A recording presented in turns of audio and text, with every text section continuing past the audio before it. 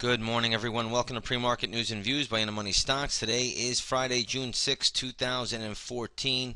Thank you all for tuning in. Let's jump right into the charts here. You're going to see that the S&P 500 E-mini futures are trading higher by about three and three quarter points to 1942 spot 25 per contract. Uh, the pop up in the futures comes after the U.S. Labor Department released a non-farm payroll report. Uh, looks like the report said that the economy added 217,000 jobs in the month of May. The unemployment rate is now 6.3% according to their numbers. Now, what can we make out of that? Um, is a good number like this going to raise interest rates? Is a good number like this going to make the Federal Reserve taper their quantitative easing program? I don't think so. Um, the right now, the market, good news is good news, and bad news is good news. Um, we're in a light volume environment. That's kind of the environment that we're in. And then you have the currency worlds, whether it's the dollar yen or the euro. Uh, you have to watch that as well. So there's a lot going on out here. But anyway, you slice it or dice it. Futures are trading up a little bit. Um, we'll see where they finish at the end of the day. Remember, the volume trends this week have been some of the lightest uh, volume trends all year. So whenever you have a light volume market, it is very, very hard to see downside. And today you could get a flat to slightly positive trading tape again. I mean, I, that's all I'm seeing. I, I, don't really see any big negatives out here for the marketplace, um, not in this light volume environment at least. All right, let's get into some stocks out here because there are a lot of stocks in the news. Um, the first one we're going to look at today is going to be Hertz Rent-A-Car. HTZ is the ticker symbol. Um, I'm not sure exactly what the news was on this one. I don't think I really saw it, but one thing I will say um, the stock is trading sharply lower, and that should be that should be on everybody's alert or watch list. Uh, right now, you have, I believe, uh, okay. Here's the news: Hertz has to restate uh, its restate its results over accounting issues. So the stock is trading down pretty sharply. It closed at around thirty dollars and forty nine cents. It's now trading at twenty seven dollars and sixty one cents. I will have some gap levels for Hertz today uh, posted up in the chat room. So they'll be up at 9 o'clock in the morning. So if you want to trade Hertz with us, come on over to the chat room. Those those uh, levels will be posted up in the chat room at 9 a.m. But it looks like the company is restating their uh, results uh, due to some accounting issues. This could also affect um, ticker symbol CAR. This could trade down in sympathy as well. So this has been really one of the better performing equities lately. But uh, Avis Budget Group, ticker symbol CAR, CAR. Um, this could be trading down today a little bit as well. Uh, we'll have to see how that plays out. So keep that on the radar list. Um, if that got down to around $52, I doubt it will. Um, car looks like a real good bargain at that level. But either way, um, we'll see how this plays out. But keep it on your sympathy list. This is probably going to trade down in, at the open in sympathy with the uh, with the Hertz budget. All right, let's take a look at, uh, excuse me, with Hertz Rental Car. Uh, let's take a look at the next one here. We're going to take a look at uh, Verifone. Ticker symbol is PAY. Uh, the stock is trading uh, at around 34.90. It closed at 33.82.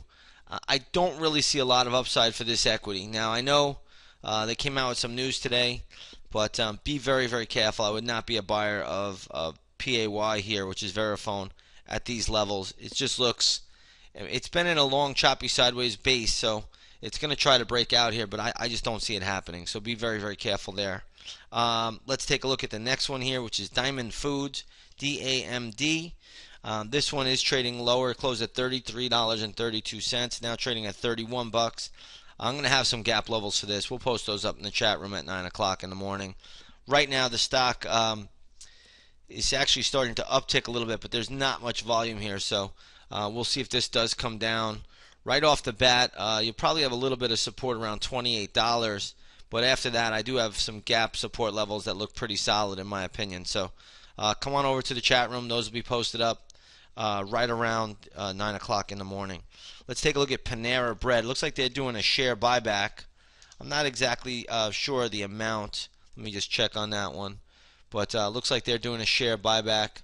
Oh yeah, it looks like they're going to buy uh, 600 million dollars worth of stock, and replacing an existing program. Um, so again, Panera up a little bit on the news. I don't think it's that important. I don't even think the news is that great. If the stock by some chance today got to around 167.50, short it. That would be that would be all it could go to. I don't even think that happens, but keep it on the radar if it does happen. 167.50. Um, Panera would be a fade play this morning. Uh, let's take a look at MW. Uh, ticker symbol MW is Men's Wearhouse. I think they reported some earnings. Um, let me get that up there. There we go. Right now the stock's trading at 52 bucks. These guys are also closing a deal with uh, jo- Joseph A. Bank, so that deal is supposed to close any time now. So I don't see a lot of upside for Men's Wearhouse here. Maybe it's holding up pretty well, but um, I would not be a buyer up here. If I had a, a, little bit more of a level, I would actually look to sell this equity short um, right now. But um, I don't have a great spot. Let me see here. Men's Wearhouse gets to $54.17. You could probably short it. So keep that on the radar. MW gets to $54.17. It would be a fade candidate. You could probably play that to the short side. Um, I guess off the bat, you could probably look for about 30 cents, 40 cents of downside from there and use about the same type of stop loss. Let's take a look at Vail Resorts. Ticker symbol is MTN, Mountain. Just like Vail. If anybody's ever been there, it's pretty nice. Um, Right now, the stock is trading at $73.53. It closed at $72. So, um, nice little pop there. But I don't see a lot of upside here for Vail Resorts. So, be very, very careful here.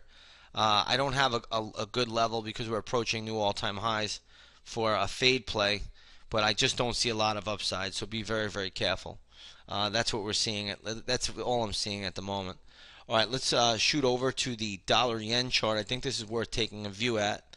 Um, what you're going to see here is dollar yen started up, started down, and now it's moving lower. This, what I've noticed here, and this is just my observation, is that anytime the dollar yen um, seems to put in a little intraday low around 8 or 9 o'clock, and then it starts to rally up, and that generally will save the stock market. But ultimately, when dollar yen goes down, the stock market will usually go down with it. In fact, you could see that the ES futures are fading a little bit um, from their morning highs as dollar yen has moved lower. But when dollar yen catches a little bit of a bid, it starts to move back up. And I'll show you what I mean by that. So here, dollar yen was selling off, ES sold off. Now dollar yen is upticking, and the ES is starting to uptick as well. So um, keep that on the radar, but generally, dollar yen, um, from what I've been seeing over the past couple weeks, every time the stock market is in trouble, dollar yen starts to rally up around 8 or 9 o'clock in the morning. You go back and look at the chart yourself, and you'll see exactly what I'm talking about. All right, let's shift gears here a little bit. let's get over to the gold market. Gold is up $3.70 to 1,257 an ounce. Gold had a big day yesterday. It's trading up a little bit today. I don't love gold. I don't hate gold. I'm neutral on it at the moment, and that's how we need to be in this kind of pattern. It was oversold. It was due for some kind of a technical bounce, but I think that's all that we can make out of it at the moment. Next one we're going to look at here is light sweet crude. right now, light sweet crude futures are up 42 cents to 102.90 a barrel, $102.90 a barrel. Let's go to the all important USO, which is a good proxy for trading light sweet crude. And you're going to see that's trading at 37.70 Oil is holding up very well. It is not showing really much weakness. It's had a pullback over the past week, but it's been very gradual and mild. So oil actually can trade higher. Um, geopolitical events being uh, the way they are today, whether it's Russia and Ukraine, whether it's uh, problems in the Middle East, um, oil is still holding up very, very well at this stage of the game. So again, there's nothing we could really do with it. If the USO did get down to around $36.45, that would be a level uh, of support. If oil, if the USO traded up around $39.35, that would be a level of resistance. But we're dead smack in the middle, so there's not a lot we could do with that at this stage of the game. Futures are trading higher by $3.75. Today is a Friday.